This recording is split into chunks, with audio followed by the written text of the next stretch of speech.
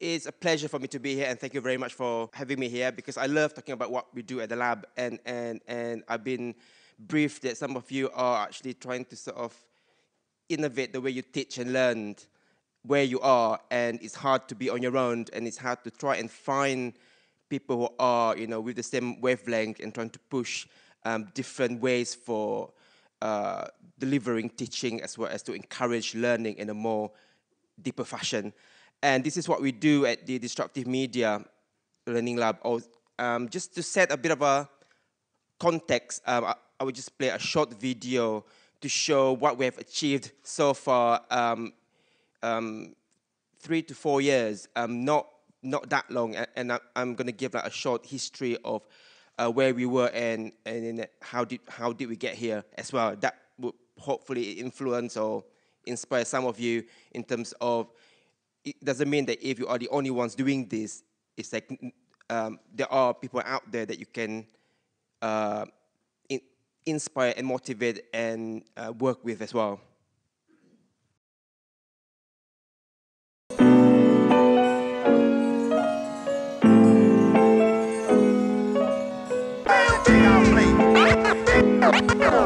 Journey the lab has gone on has been, I think, really kind of fascinating. And if I try and summarise it, I guess, into three words would be the kind of the, the idea of kind of serendipitous sort of uh, engagement. I think the other word perhaps would be collaborative. I guess the third one would be action. This is a space, and I've seen it over the last day and a half, two days. This is a space where people are being asked to think about that. The disruption is a disruption of a model of thinking of a culture of accepting. The DMLL's role is to offer a safe space for staff to come and perhaps use our spaces to experiment with their students, to explore new ideas, um, which perhaps realise what the 21st century university could be.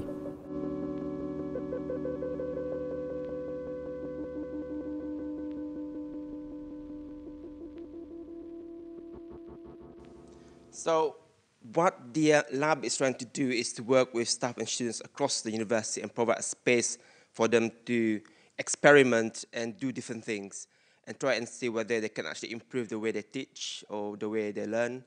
Uh, it, it, doesn't mean that if you think that what you're doing is perfect, it doesn't mean that we can't break it and then rebuild it and probably find something which is more interesting um, to do because sometimes when you have been teaching for a long time, you find that it's a bit boring, it's a bit semi semi. So what we are trying to do is to try and help them to, to discover how can they redesign and reconceptualize what they do. And to be fair, it was not an easy journey. Um, we are the lab was supposed to be a four-year uh, experiment, and for the first one year and a half, it was quite hard because even though we are calling ourselves disruptive, however, the university was very much against, you know, not following the red tapes and all the uh, procedures and, and whatnot. So in the end, we decided to just do it and apologize later. And it seems to be working. Because if you think, if you feel strongly about something, that you need to change something, do it. And then show to the organization how it is supposed to be done.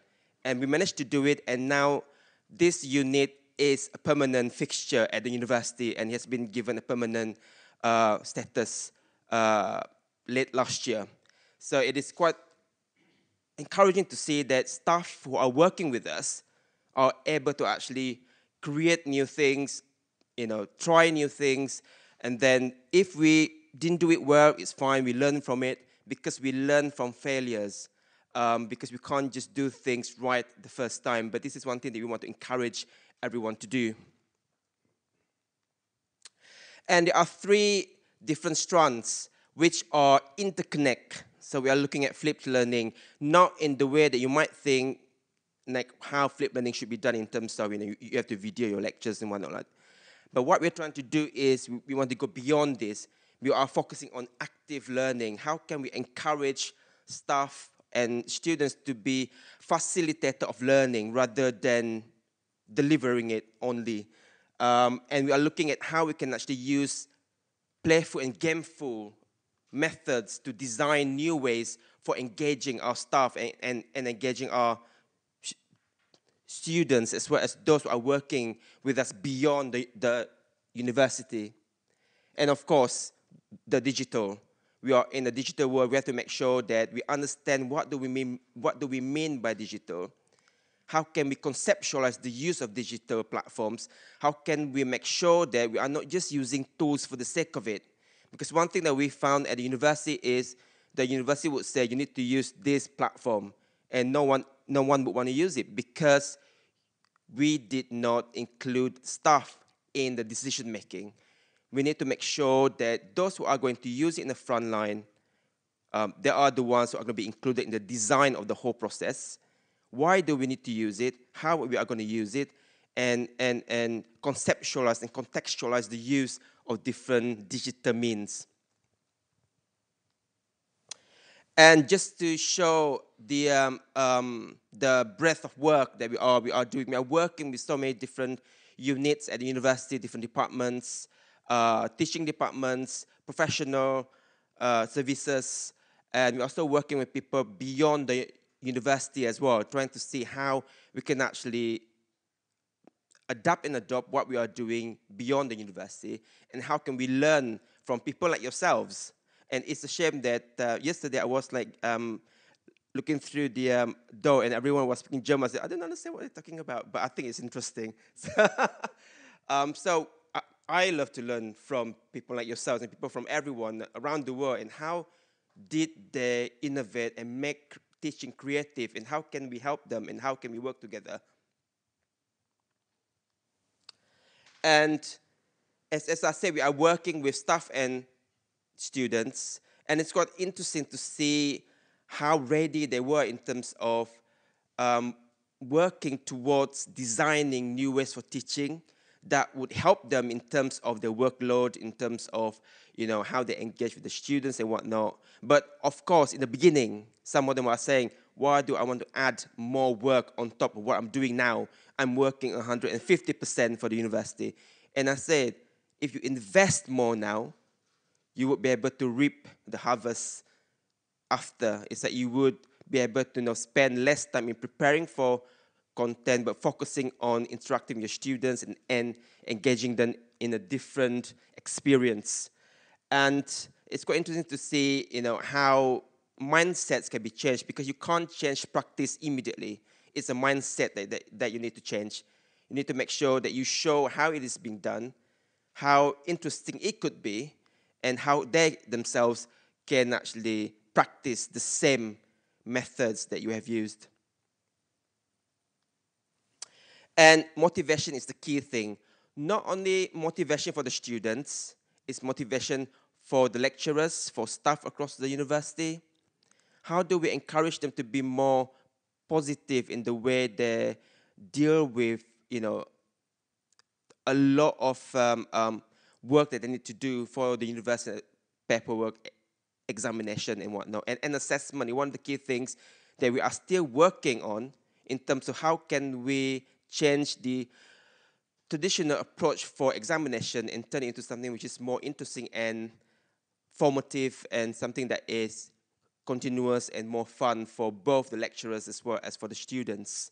And this is why we are looking at methods like gamification and playful learning and all sorts of different approaches that we think might help us design experiences. Because there are people from different background, people from different uh, views and perspectives of what innovation is. Some people say that, okay, I want to stick to what I know because this is what I'm comfortable with.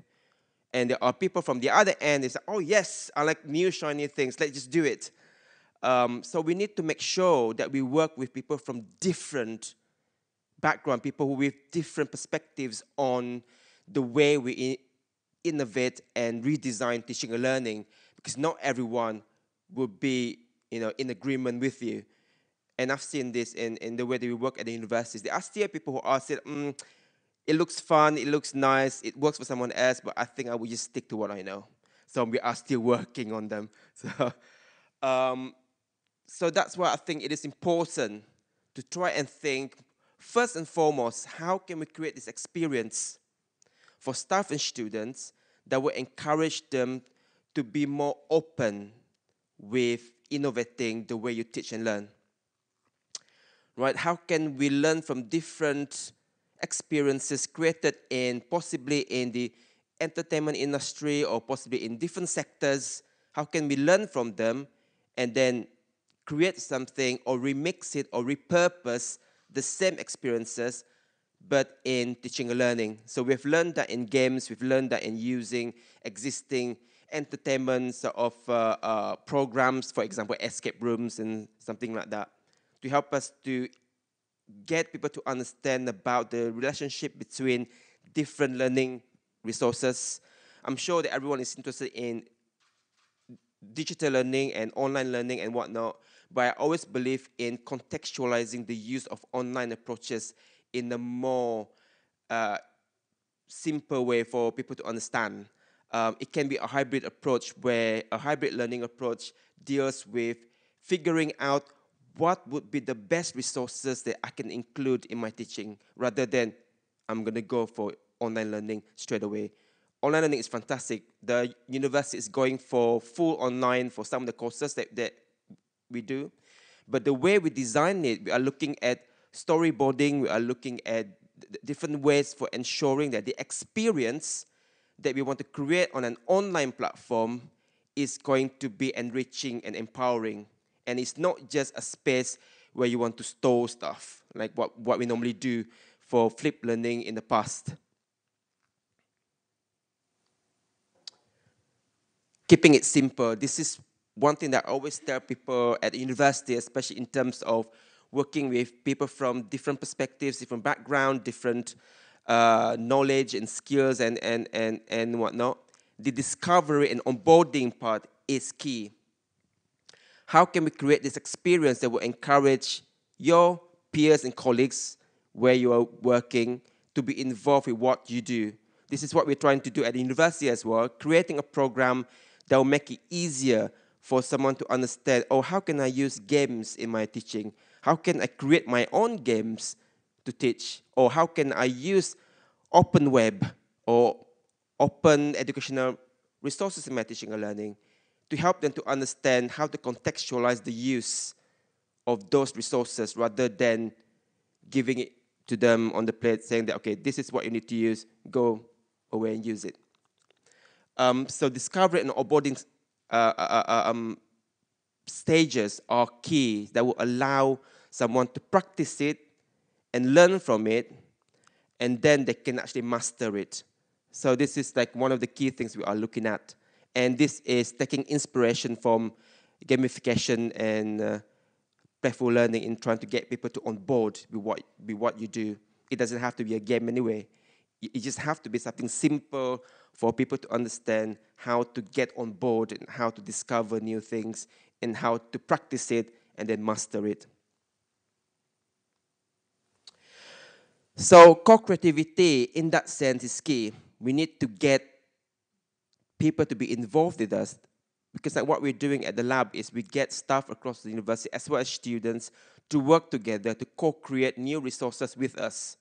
So we are working uh, in different um, domains, different subjects and disciplines. And it's interesting to see staff from different disciplines working together and create resources that will be usable in their own disciplines when they teach. So we are using uh, methods like sprints. Sprints is a method that will encourage you to be more agile and more rapid in terms of prototyping products, but we are using it to prototype courses and modules and degrees and, and, and whatnot. And so far, we have done quite a lot in terms of the different modules, the different courses that we have developed with the staff. We didn't develop it. We provide a space for them to come and have discussions and rapidly prototype those courses and get it through approval from the university faster than the normal process. And game changers, as uh, was mentioned by, by, by Kristen before, um, this program came about because staff came to us and then saying that can you create a game for us to teach A, B, C, D, and E? And I said no, I'm not going to create this game for you. You need to create yourself. You need to learn why do we need to use games. A game is not just a tool; it's a method. It's a culture amongst those who are, you know, uh, at the university, especially the young ones. So we need them to understand why do we want to use games? Can they create their own games? Can they reuse existing games to assist their teaching? And some of the other um, programs that we run in terms of trying to onboard our colleagues at university to discover new ways for doing things.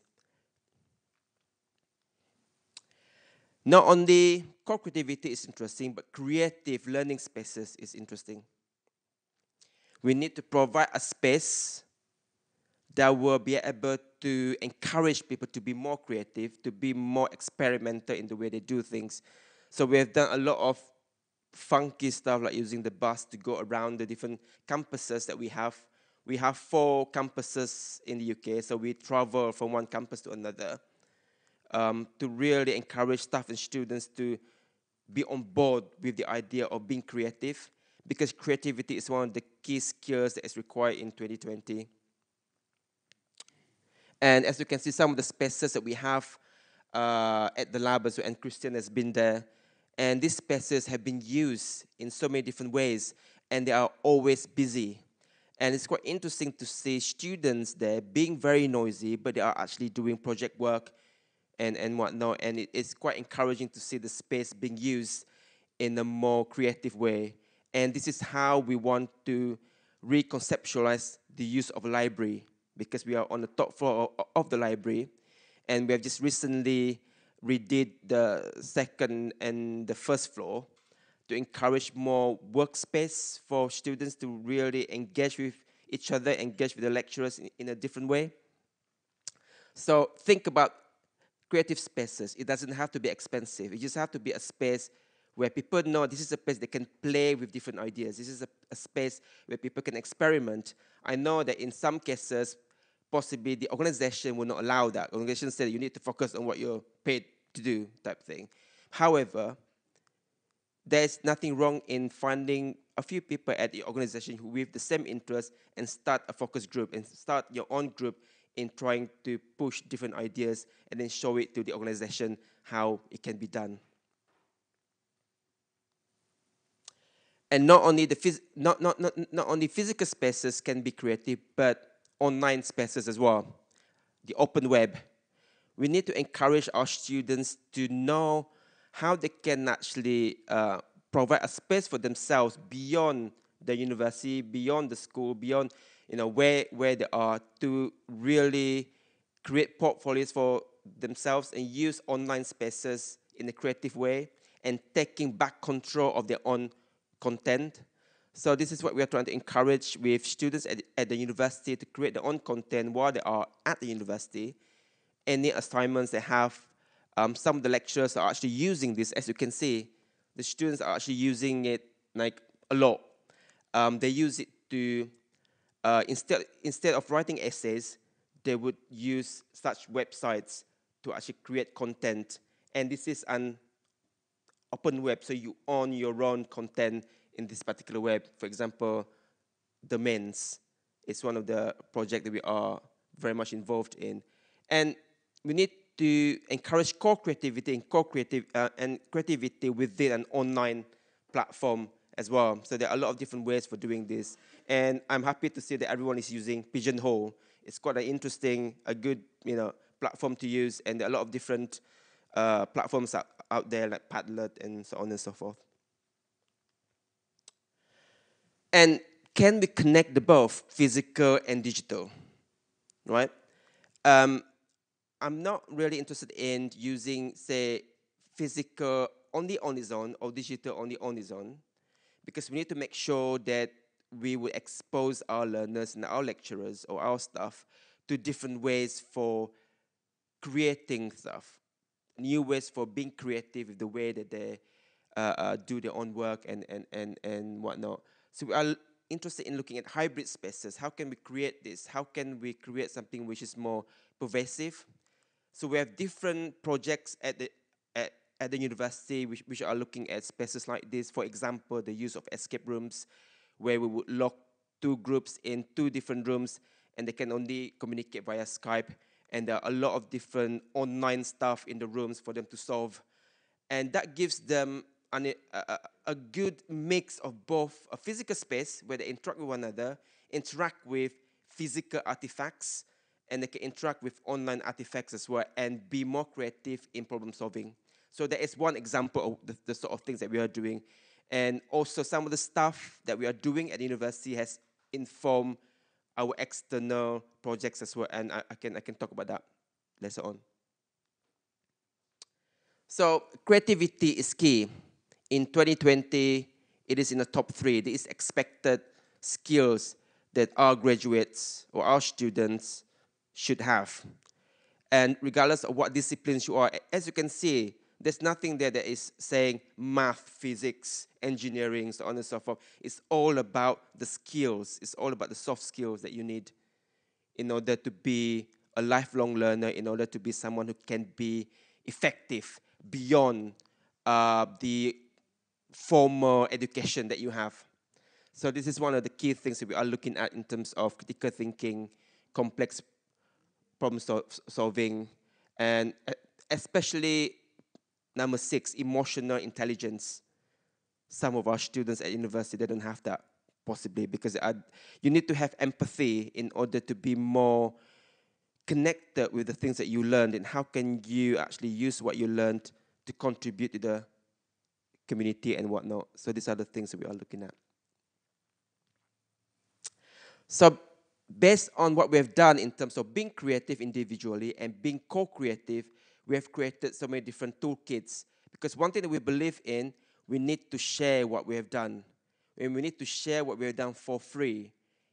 If we want to change the way teaching and learning are being done, we need to provide all this and we can't keep it to ourselves. That's what I quite like summer schools like this when you are sharing what you are doing in your own organization and everyone can actually take inspirations from them. And this is what we're doing as well. So on the website, for the lab. Uh, there are a lot of different toolkits that you can download for free. You can use it for free in any way you want, and it is uh, under the Creative Commons license, so it's free for you to use. And the drivers. So here I'm, I'm, I'm going to talk about the impact of the work that we are, that we are doing in terms of you know, being disruptive, do things and apologize later, and if you did it wrong, then you'd be like, you know, it's quite hard to justify. Uh, it, it doesn't work because at least we learn from it. And we believe in the power of research, the power of development, and the power of practice. So anything that you are practicing can be part of research, and research can inform the practice as well. So we are doing all three and we are trying to do it in an agile way in terms of if we have an idea, we do a bit of research about it, create something with the staff, implement it straight straight away, and see whether it will impact the students or impact the way staff uh, feel about their work and and and and whatnot. So we learn from it, and then there's an iter iterative process. Okay, what is working, what is not working? Let's create something new, implement it, so on and so forth. And because of that, that we managed to sort of look at the timeliness of the problems that we are trying to solve to ensure that you know things are being done with the staff and it would actually contribute to what they are trying to do. Let relationships is key. That people you are working with within the university and beyond, and being inspired by existing work. So we are doing a lot of work within the lab, testing different things and see how can we use it in different ways. So as an example, um, the research funding that we have received since 2014. We have received quite, uh, we have actually achieved quite a lot within that short span because of the fact that we're working with staff across the university, trying new things, and we actually work with people outside university and get funding to expand the work that we're doing and implement it in, the, in different countries. This is just to show that whatever that you're doing has got a lot of potential in being implemented as well. And I know that funding is one of the key issues sometimes. So there are a lot of opportunities out there that will allow you to be involved in a consortium that can actually push forward your ideas. And as an example, at the lab, we are interested in the power of play, interested in creating something that will encourage students to engage with content better. So we create game changers. As I said before, staff coming to us saying, can you create a game for us to teach this, to do this? We said, no, let's just work together and co-create, right? So we believe everyone can actually create fantastic, interesting content because everyone is familiar with games, everyone is familiar with play. We don't have to be complicated about it, keep it simple. So with this, we have created a lot of different initiatives with the staff and they create their own items, they, they create their own resources and students are involved in the design as well. So this is the context. And you can go on the website and there are a lot of different resources, free resources you can download as well if you want. And our approach to show that it is actually informed by research and informed by practice. This is the researchy bit that I'm, I'm not going to talk about, it's a bit boring. Um, but this bit is more the practice bit. The practice bit is like we should not be driven by tools and resources and technology. We should be driven by the needs. Start with the needs. What are they? So we're working with the staff across the university. And then we create activities around those particular needs. And then we think, how can we make it interesting? So we include a lot of play mechanics on it. And then we think, okay, how can we support this? What types of technology? Is it going to be a digital technology or is it going to be a hybrid approach, a physical approach? So this has really helped our staff to really think in a holistic way. So they understand, okay, the reason why I'm using this tool is because these needs need to be supported in a certain way. So that helps them to have that mindset. Remember, I'm talking about mindset. Mindset is key to help them to understand the process. So, right, so from research to practice, development, and whatnot. And looking at the way we evaluate it as well. It's like, what is the connection between the creation of a game with higher level thinking? Where it connect with understanding up to reflection and application and whatnot. So this is something that we use at, at the university to encourage people to think about the process of creation. And from the research, the practice, and the development at the university, we found that there are a lot of value in the work that we're doing and the staff are doing. So we built a relationship with some people from Malaysia, because I'm from Malaysia myself, through the British Council. So they are interested to implement what we do. So we said, okay, this can be a funded project, perhaps. And because of that, we managed to get funded by the Newton Fund.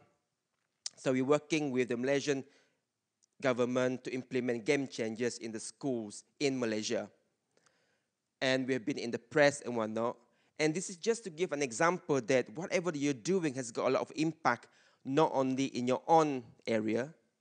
If you keep on pushing, that can impact people beyond your own circle.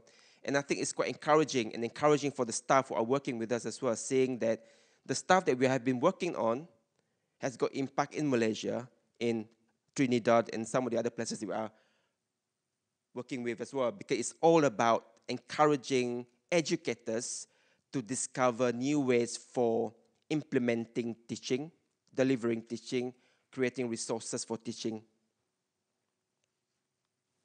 And another big example is from the inspiration from Game Changers and some of the other uh, programs that we have run at the university, we had an idea of how can we encourage learning beyond the classroom?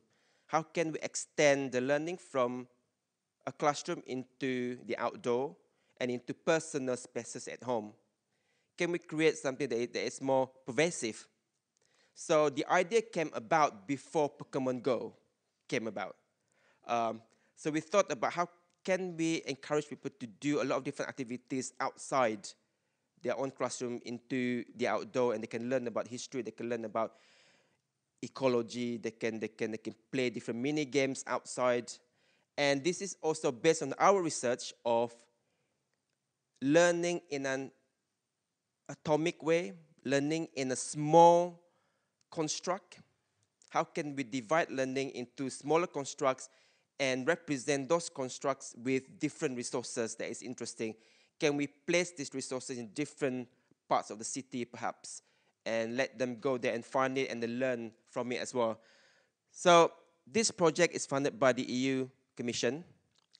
Um, it is, and we got 15 partners in different parts of Europe, and including Germ uh, Bremen. Um, and we are in our third year now, so we have created an authoring tool for teachers and educators and lecturers to create their own gamified resources. So the resources can be used within a classroom setting if they want to, or it can be expanded beyond the classroom into the outdoor. And it, it is being piloted in, I think, about seven different countries. Uh, the pilot is going to start um, in September. So we are engaging with about 5,000 students and stuff. Um, so let's see how it goes. It'll be something that you guys will be able to engage with as well. Once the version has been released, then you can give it a try and then and then use it in your own teaching. So this is an example of how the small idea that we had at the lab, working with staff across the university, the research and the practice and development that has informed activities beyond the university. And this is how we want to encourage everyone you know, to do, is to look at their own work and see how can I impact beyond what I do. And that, that will really open up opportunities for you. So there are a lot of different projects within the uh, game changers, game, uh, you know, game, gameful and playful learning. Some of the examples, I'm not going to talk about them.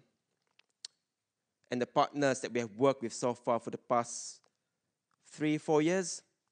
So there are a lot of people that are working with, not because what we're doing is fantastic, it's because it's some of the things that we're doing has got a lot of potential and we look at this as an opportunity for us to learn from the other university. How did they do their own teaching? How can we learn from them and implement it at our own university? So there are a lot of opportunities for you guys in the summer school to actually learn from one another and, and, and implement something that you might think in, uh, is interesting for your own practice.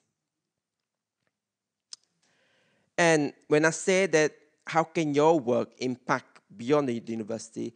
Not just in terms of implementing it in different countries, different institutions and whatnot. It's about social value as well. This is interesting for staff and students. How can we encourage students to be better citizens? How can we encourage them to think about, I'm learning this, I learn about my stakeholders, having empathy. How can I contribute back to the community? Because we need to create better citizens, not just better engineers. We need them to understand that whatever they are doing has got social value. And as an example, the stuff that we're doing in Malaysia, it's quite humbling to work in um, you know, remote areas where they don't have access to a lot of different privilege that we have. And that's what we learn from it. Okay, how can we support people in this particular community using game changers, which is games that the, some of them have not played online games before, However, as I said before, keep it simple. Everyone knows how to play hide and seek. Everyone knows how to climb a tree, and then, uh, you know, all, all those things can help inspire people to think about engagement and to think about creativity and whatnot. So, this is one of the key things that we are pushing now in terms of social value. How can we encourage social innovation, social enterprise? Because seriously, even if you graduate with a first class honor at university, that doesn't guarantee you a job. So we need to encourage them to be ent- uh, social enterprise as well. So, um,